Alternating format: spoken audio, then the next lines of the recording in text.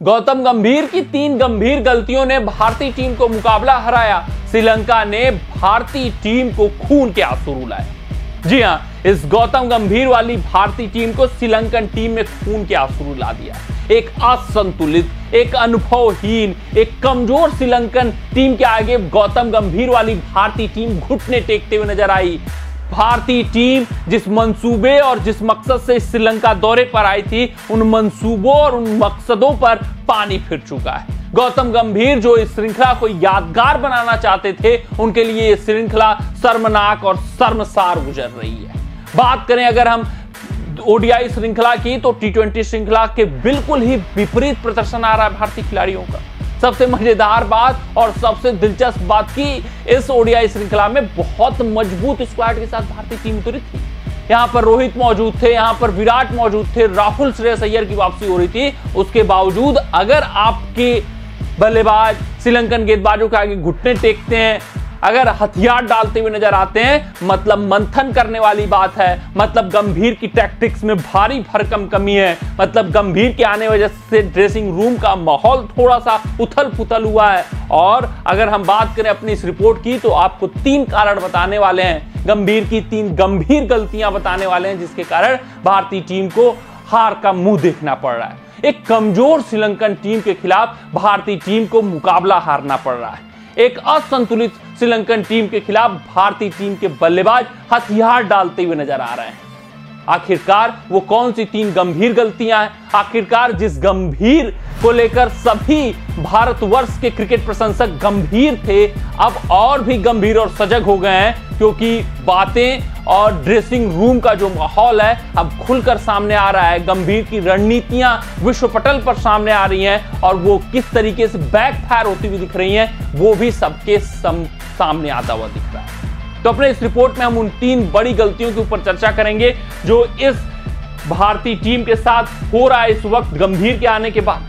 अगर बात करें पहले बड़ी गलती की, भयावह गलती की तो बैटिंग ऑर्डर से छेड़छाड़ यहाँ पर के राहुल, अगर आपने देखा होगा ओडीआई वर्ल्ड कप 2023 तो नंबर पाँच पर ही बल्लेबाजी करते थे। श्रेयस अय्यर नंबर चार पर ही बल्लेबाजी करते थे। वहाँ लेफ़्ट राइट कॉम्बिनेशन बनाने का फिराक में नहीं थी भारतीय टीम, कोई सोच में नहीं थी। वो अपने बल्लेबाजी क्रम के साथ बहुत ज़्यादा छेड़खानी नहीं करना चाहते थे। हाँ पाँच के बाद दो ज़रूर सूर्य कुमार यादव के बैटिंग पोजीशन के साथ छेड़छाड़ कर लेते थे। लेफ़्ट राइट का कॉम्बिनेशन बना लेते थे। रविंद्र जडेजा को ऊपर भेज दिया करते थे। लेकिन के राहुल और श्रेयस अय्यर, जो मछे हुए बल्लेबाज हैं जो स्पिन के बेहतर बल्लेबाज हैं, उनके बैटिंग पोजीशन के साथ छेड़छाड़ नहीं होती थी। लेकिन जब से गंभीर आए हैं, तब से श्रेयस अय्यर और के राहुल के भी बल्लेबाजी पोजीशन के साथ छेड़छाड़ हो रही है। ये भारतीय टीम के लिए अभी तक सही साबित होता हुआ नहीं दिखा है। ना ही पहले ओडीआई मुकाबले में, ना ही दूसरे ओडीआई मुकाबले में। और ये दोनों बल्लेबाजों, जो कि भारतीय टीम के सबसे बेहतरीन स्पिन के बल्लेबाज हैं,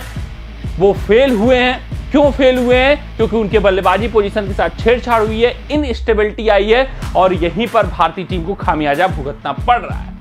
दूसरी बड़ी गलती कि रोहित शर्मा इतना बेहतरीन शुरुआत देते रहे हैं। रोहित शर्मा इतने ताबड़तोड़ अंदाज में पावर प्ले के ओवरों में खेल दे रहे हैं कि उसके बाद भारतीय टीम ओवर कॉन्फिडेंट हो जा रही है। पहले मुकाबले में भी हुआ कि उनके बल्लेबाज ओवर कॉन्फिडेंट हो गए कि अब तो हम मुकाबला जीत गए। दूसरे मुकाबले में भी हुआ कि ओवर कॉन्फिडेंस का शिकार हुए भारतीय बल्लेबाज, जिस चीज़ के लिए गौतम गंभीर को ड्रेसिंग रूम में बैठाया गया है कि आपको ओवर कॉन्फिडेंट नहीं होने देना है खिलाड़ियों को।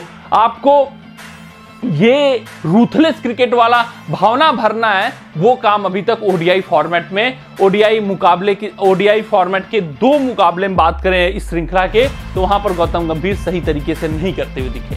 वहीं अगर हम बात करें तीसरे कारण की तो देखिए भैया, यहाँ पर अब और एक्सपेरिमेंट हुआ दूसरे मुकाबले में। ये एक्सपेरिमेंट इसलिए किया गया कि हम कुछ आउट ऑफ़ द बॉक्स करना चाहते हैं। हम कुछ ऐसा चीज़ आउट ऑफ़ द सिलेबस देना चाहते हैं अपोजिशन टीम को कि वो तैयार ना हो। और रोहित शर्मा को यहाँ पर गेंदबाजी कराया गया, जो बना बनाया मोमेंटम था, जहाँ विकेट लगातार गिर चुके थे। उसके बाद एक साझदारी जैसे कि पिछले मुकाबले में एक साझदारी आई श्रीलंकन बल्लेबाजों द्वारा लोअर मिडिल ऑर्डर बल्लेबाजों द्वारा उसी तरीके से यहाँ पर साझदारी आई। भारतीय टीम गेंदबाजी में एक्सपेरिमेंट के करने के चक्कर में वहाँ पर अपना बना बनाया मोमेंटम गवा बैठी। अक्षर पटेल स्पिन के गेंदबाज 10 ओवर पूरा नहीं कर पाए। तो आप समझ सकते हैं कि रोहित शर्मा को गेंदबाजी कराने के चक्कर में थोड़ा सा एक्सपेरिमेंट करने के चक्कर में, वो जो श्रीलंकन टीम 220 210 तक रोकी जा सकती थी, उसको हमने 240 तक पहुँचाया। तो ये बेवजह के जो एक्सपेरिमेंट हो रहे हैं, ये जो अफलातून एक्सपेरिमेंट हो रहे हैं, ये जो बिना सोच, विचार और विमर्श किए हुए एक्सपेरिमेंट हो रहे हैं, उसके कारण भारतीय टीम को खामियाजा अभी दो ओडीआई मुकाबलों में भुगतना पड़ा है। कमज़ोर श्रीलंकन टीम के खिलाफ मुकाबला हारना पड़ा है। कमेंट सेक्शन में कमेंट करके बताइएगा कि आपके हिसाब से भारतीय टीम के हार का कारण क्या रहा है। मिलते अगले रिपोर्ट में। तब तक आप अपना ध्यान दें, सुरक्षित रहें, स्वस्थ रहें, मस्त रहें। जय हिंद, जय भारत। अगर ये वीडियो आपको पसंद आया हो तो इसे लाइक और शेयर करें और क्रिकेट से जुड़ी अन्य जानकारियों के लिए हमारे चैनल को सब्सक्राइब करना ना भूलें।